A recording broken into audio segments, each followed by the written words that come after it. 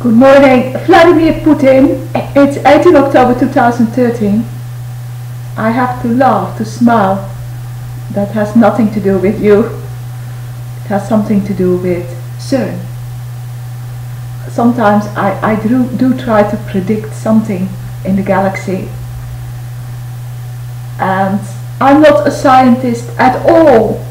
So when we are communicating, it's me from my assumption that psychosis and schizophrenics are languages and not illnesses.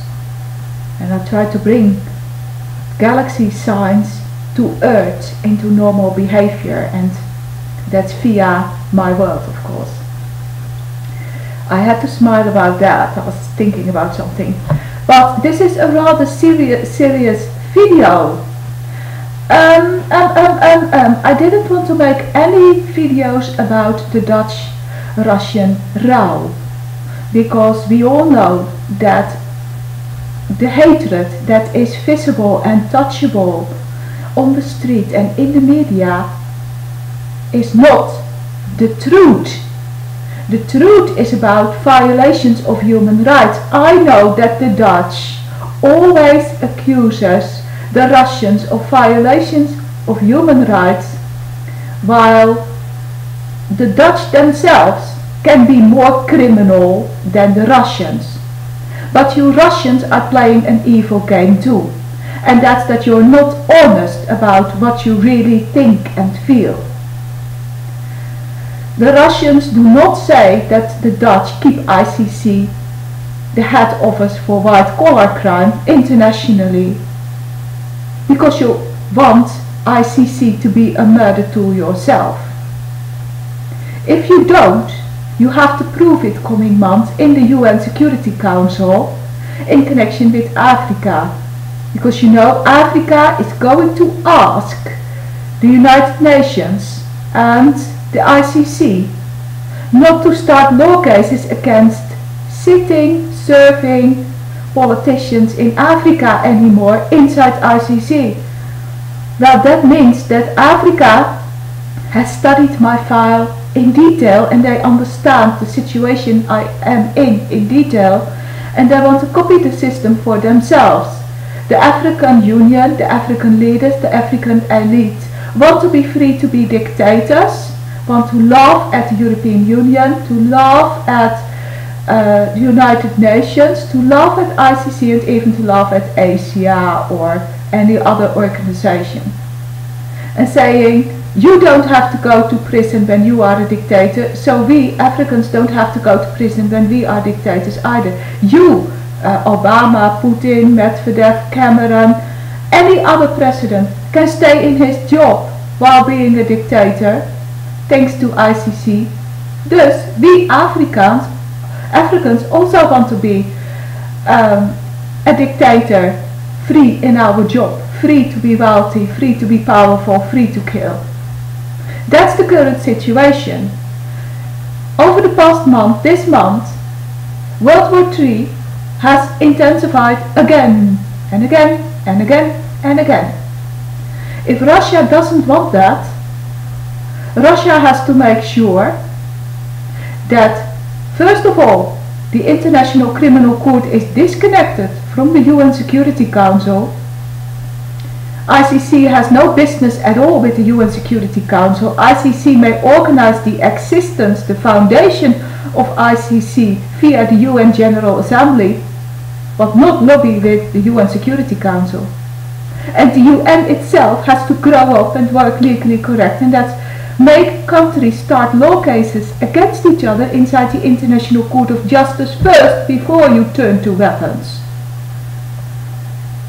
So far Russia has not proven to be social intelligence, emotional intelligence, judicial intelligence. There is no intelligence coming from Russia at all. There is only barbarian behaving.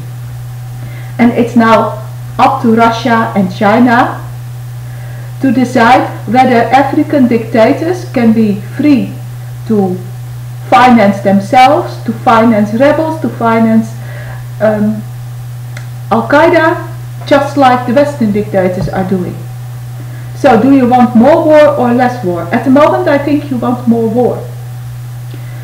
So that's the, the way I and other intelligent people in the Netherlands view Russia. The, the Queen, Queen Willem Alexander and King Max, uh, I really hate that couple. King Willem Alexander and Queen Maxima will visit Russia 9 November. Personally, I don't care if they are being assassinated. I don't care if they get injured, get disabled, whatsoever. Because they are mass murderers themselves. On a very large scale. They are always very happy to be able to attend the International Criminal Court parties. And that means that they party when they can kill people. And that runs for the whole family. Also the persons who work in the security sector in the Netherlands. So, for that reason, I really don't care if something happens with the Dutch royal family in Russia. But I do think that the situation itself is explosive in a very dangerous way for both the Netherlands and Russia.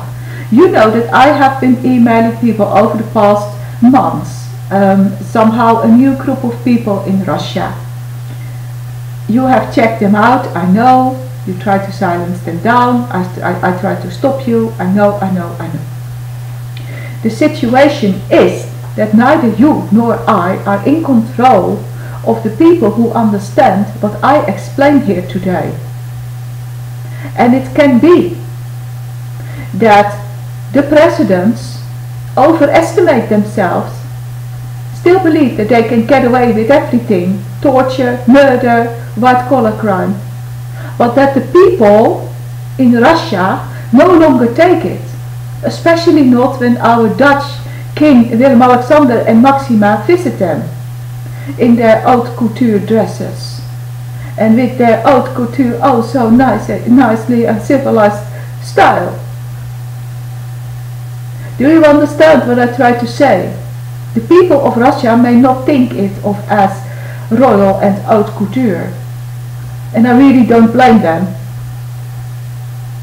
I do, do believe that Russia should cancel the meeting for reasons of security.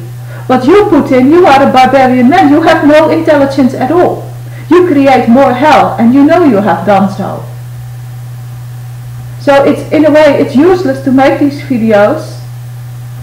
On the other hand, I want the people in Russia to know what I think. And that's also because people I have never met from Russia appear in my dreams. They ask me for advice and I do send them back to Russia. I don't speak the language, I don't even know what they say to me. But I know that they are connected in my galaxy and my atmospheres. There's, um, I think you should cancel the meeting because you are too childish to work with the truth about the International Criminal Court and Africa and, and Asia and Latin America all want more war all want ICC and the lobby behind ICC to grow in violence. And the people understand that they can only respond with violence. I leave you here. Goodbye, Vladimir Putin. And not so smart Dmitry Medvedev. Bye.